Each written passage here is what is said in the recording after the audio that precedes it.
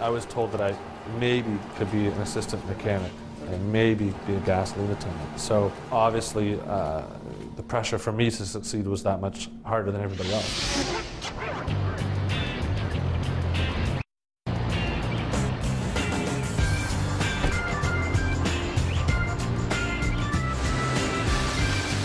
Okay, so it's, uh, it's 2.30.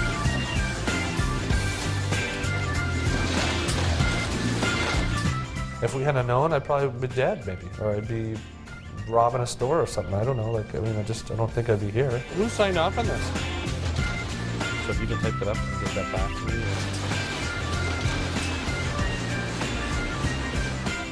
Looks good though, yeah. Good registration. No one really wants to admit that people have learning challenges. So it's signed in yellow. No one knew what I had. No one had any idea. I'd get tested and tested. Yeah. They called my parents over. They met with them, and they said, "Okay, here's what it is. Uh, your son will never do high school. He said um, he probably will never have a regular job. If he's lucky and works hard, he could probably be uh, an assistant mechanic at a gas station." And luckily, they didn't listen.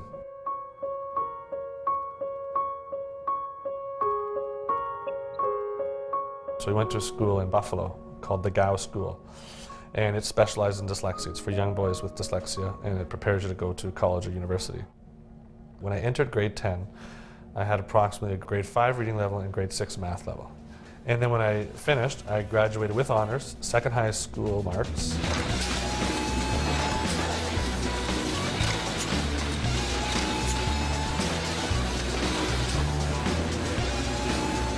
I get that question asked a lot. You know, do you see dyslexia as an obstacle or not? And if you'd asked me that probably a long time ago, I would have said yes.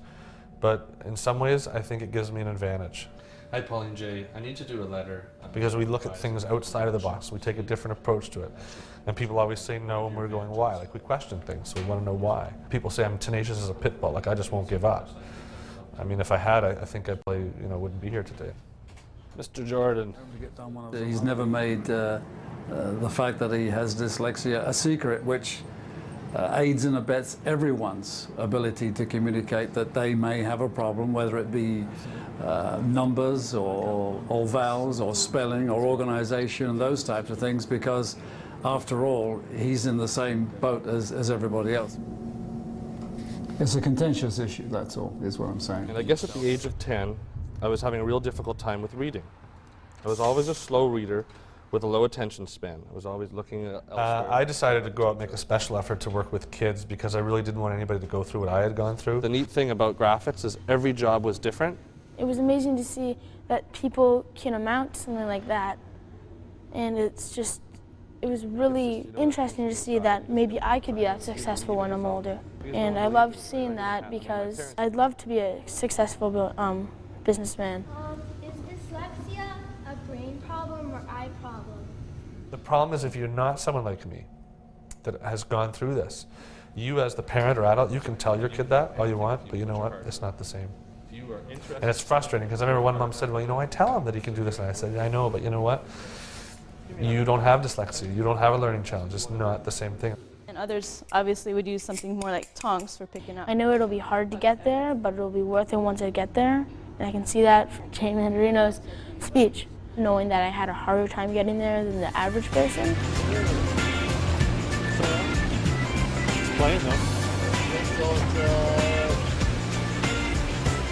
I find it inspiring in as much as it's something that I certainly couldn't do.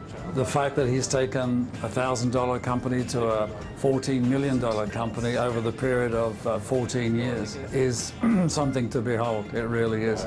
so then when we do it, I just can't believe the stuff. It's unbelievable. For a guy who's going to work in a gas station. Thank you, Joe. Thank you, Joe. Thank you.